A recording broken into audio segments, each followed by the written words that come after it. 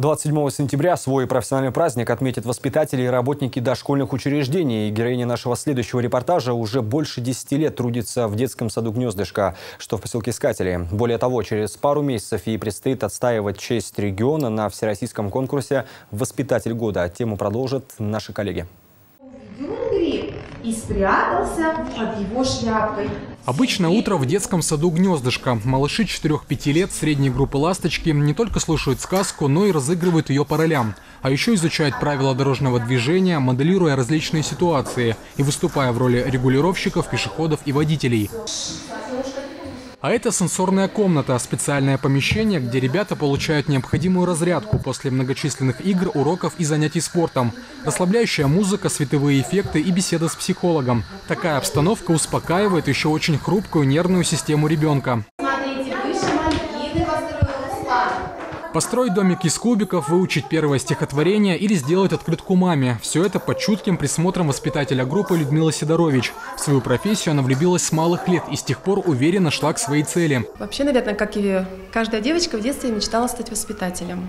Играла в куклы, да, смотрела, как работает воспитатель. И моя мечта осуществилась, и я устроилась работать в детский сад «Гнездышко», в котором я работаю уже на протяжении 13 лет. Не секрет, что работа воспитателя не самая легкая. Детей много, все они разные, и каждому необходимо найти индивидуальный подход. Людмиле Сидорович, по всей видимости, это удалось. Сейчас у нас э, современный мир непростой, такие же развитые детки, они тоже требуют к себе подхода, они непростые, но я думаю, что я стараюсь, я думаю, что я нашла э, ключик каждому сердечку, и детки меня любят, с удовольствием приходят в садик, когда, например, меня нет, они расстраиваются, спрашивают, интересуются, когда я приду. Я вообще считаю, что Людмила Александровна педагог от Бога. В ней сочетается все, и доброта, строгость, и требовательность в то же время к нашим деткам. Она очень внимательна. Всегда улавливает настроение детей. Когда надо, подбодрит, когда надо, пожурит, немножко пристрожит.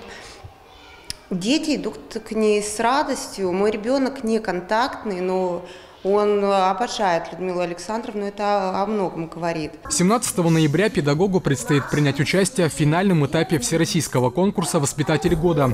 Людмила Сидорович успешно прошла два первых тура и теперь готова поделиться опытом и помериться силами с коллегами со всей страны. Я думаю, что в жизни каждого педагога наступает такой момент, где он должен обобщить свои знания и показать себя, да, какой-то вот а, профессиональная точка, когда он должен показать, что он умеет и что он может. Впрочем, каким бы ни был итоговый результат, самое главное – это победа в ставшем уже родном детском саду. Уважение, признание родителей и, конечно, любовь своих воспитанников. Красивая. А еще какая? Добрая. Еще мы ее любим, еще садик у нее красивый. Годы идут, и я, как и мечтала, играю, работаю вместе с детьми. И с детством теперь никогда не расстанусь, ведь я педагог, воспитатель и друг. Иван Кутейников, Сергей Качегов, телеканал «Север».